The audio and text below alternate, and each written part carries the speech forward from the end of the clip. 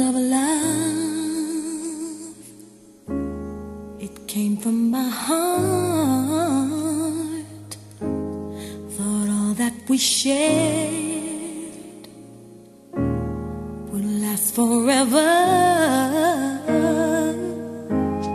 So, where did things go wrong?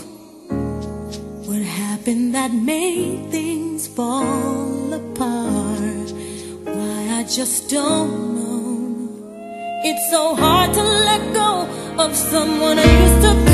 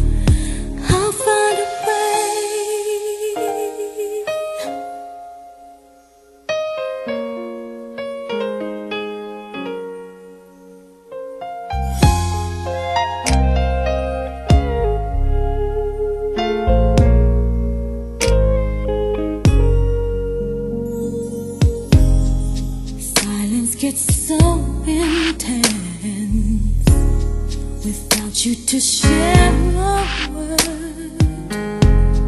I really miss your presence.